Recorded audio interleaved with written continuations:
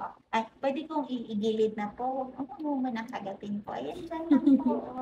Okay po, masarap po. Okay, very good. Gutom ka na, na. Okay, it's okay, anak. Mm, sarap. Okay, sige ba? Tuloy-tuloy tayo nito, ano? Okay. Yum, yum, yum, yum, yum, yum. Sige pa. Sige pa, anak. Okay. Om, yum, yum, yum, yum, yum, yum. Ang sarap po, ano? More. Om, yum, yum, yum, yum, yum, yum, yum. Okay lang po. Okay. Om, yum, yum, yum, yum, yum, yum. Ay, tuloy-tuloy po kami. Sana all ganitong baby, no? Yung bilis-bilis bigyan, no? Okay. Ay, kinakagat ko pa po. yum, yum, yum, yum. Balita ko, tumuupo ka na daw, no? Binata ko, kung masyadong pag binata ka agad, mamimiss ka ng mami mong baby.